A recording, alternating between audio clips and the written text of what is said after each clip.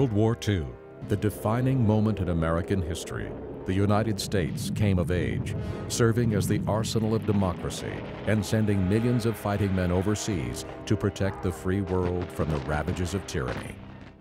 In 1942, Syracuse University was a pioneering war service college, offering pre-induction training to the largest contingent of Air Corps men in the country. As the war progressed, President Franklin Roosevelt had the foresight to recognize that once their task was completed, the men and women who fought to ensure our freedom must return to the possibility of jobs, homes, and families. We are today laying plans for the return to civilian life of our gallant men and women in the armed services. When the lights go on again, all In a single stroke of the pen, the GI Bill of Rights effectively created the great American middle class.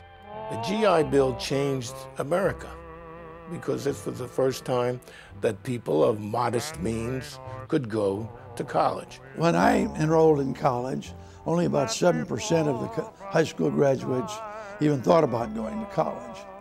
And thanks to the GI Bill, it enabled returning service people to, to enter college, many families for the first time.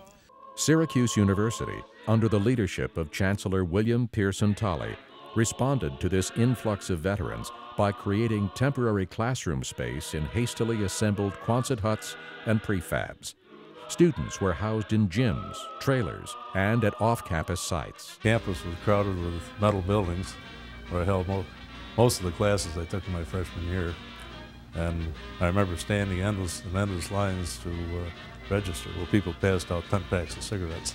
It was a huge class. In fact, I think the class in electrical engineering in 1945 was larger than the graduating, the entire graduating class in all disciplines at Syracuse University.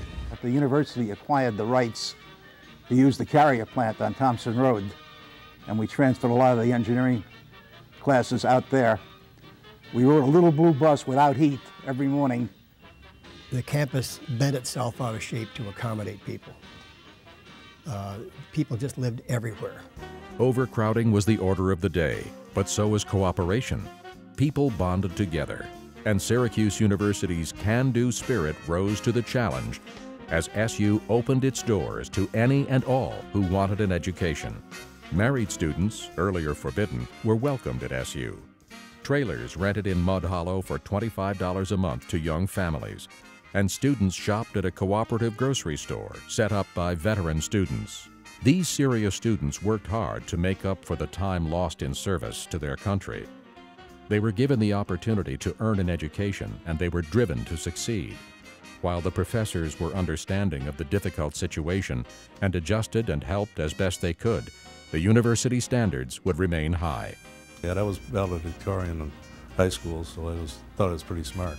And the first test I got back, my mark was 41. I said, wow, 41. I didn't know I was that stupid. That was one of the best marks of the class. there was only one other girl in, in the class with me at first that I knew, but then there were about three others, or four others, and, and a couple of them finished, but two or three of them dropped out for one reason or another. The faculty, uh, of course, went all out and did their part to help the returning GIs in that they opened their homes because many of us had not studied for several years.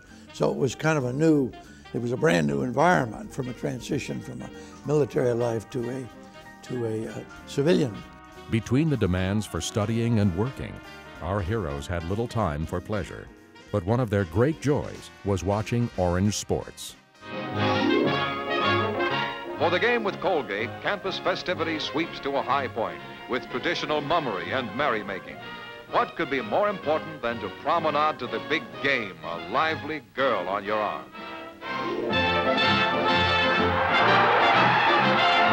Nickel beer Charlies and the Orange and uh, co-ed dances, etc. It, was, was a great time. Fraternities were strong for the obvious reason that uh, housing was so short, in such short supply. that the fraternities and sororities filled a real need in that they provided housing for, for quite a good number of students. Everybody knew the Dekes. They had a reputation. And they had to get the ladies back at uh, 10 o'clock, and they kept good track of it. Things have changed a lot now.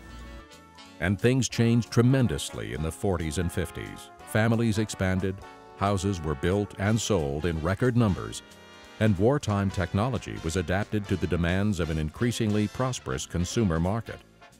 One driving force behind this technology boom was an educated class of engineers, like the ones produced at Syracuse. Most of us, having been in the Army, felt that engineering was, was the uh, wave of the future.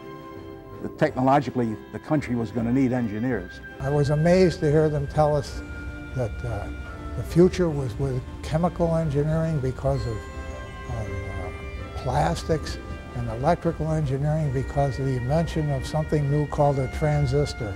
Beyond merely finding employment, Syracuse engineering graduates found something more significant in their classroom experience. They found the formula for success.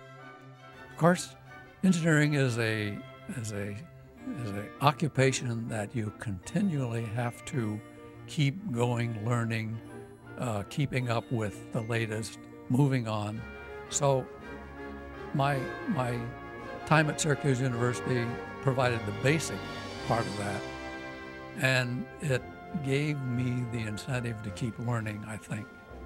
I am forever indebted to uh, the university for uh, the help they gave me during that period.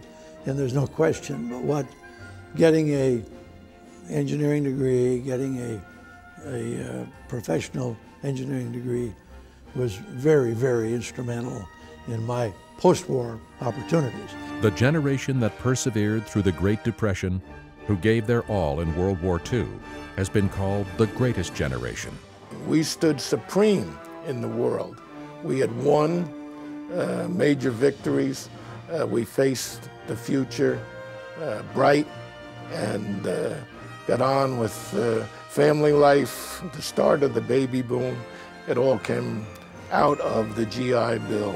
The College of Applied Science, forerunner of today's L.C. Smith College of Engineering and Computer Science, is proud to have been a contributing factor in the lives of so many of these brave men and women, and is truly honored that these alumni have created a better and safer world for all.